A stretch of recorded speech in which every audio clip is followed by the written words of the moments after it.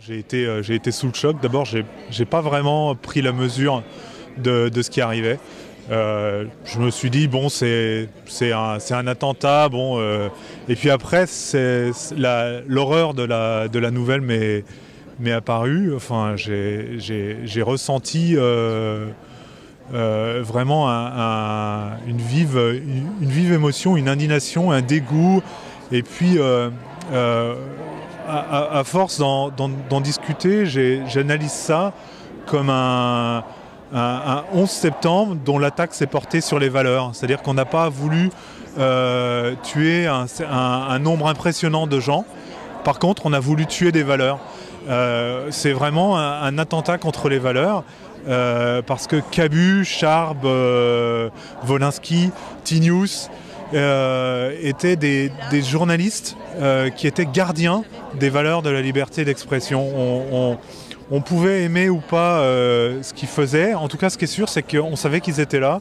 Et, que tant qu'ils étaient là, on, vivait dans une société libre et qui, mérite d'être défendue comme telle, en tout cas. Et toi, en tant que journaliste, tu te sens directement encore plus touché par ça? Ouais, il y a, il y a- probablement un côté corporatiste, c'est sûr.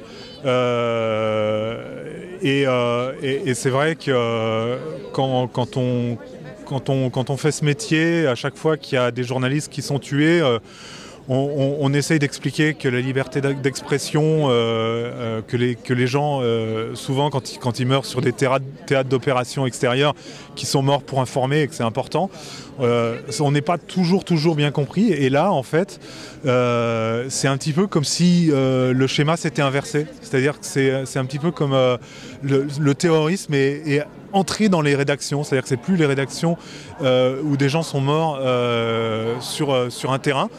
C'est vraiment le, terrorisme, le djihadisme qui, s'est, euh, qui, qui est entré qui est par effraction dans une rédaction. Donc c'est vraiment une invasion et c'est euh, vraiment terrorisant pour le coup. Et, c'est pour ça que moi je suis aussi choqué. Je j'ai rien pu faire de constructif euh, cet après-midi à part regarder en boucle les vidéos et les images qui sont vraiment horribles. Voilà, donc euh, Et qu'est-ce que tu as ressenti ici au milieu de tout ce monde euh, sur cette place? Qu'est-ce que ça t'inspire? Ben, c'est- réconfortant quelque part. Euh, ça, montre euh, que ce discours sur les valeurs, que ce discours sur la liberté d'expression, euh, sur la liberté d'expression qui, est la- première d'entre toutes, hein, qui permet de vérifier que les autres libertés existent. Hein, c'est pas de moi, je sais plus de qui c'est, mais c'est pour ça qu'elle est fondamentale et, ça montre que que c'est c'est pas un discours de journaliste, c'est un discours euh, qui touche tout le monde et pour le coup euh, c'est réconfortant.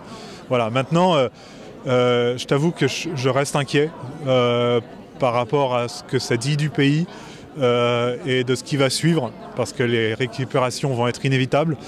Et j'ai vraiment peur que les fractures et les fragilités de notre société ne débouchent sur des crises réelles. Voilà.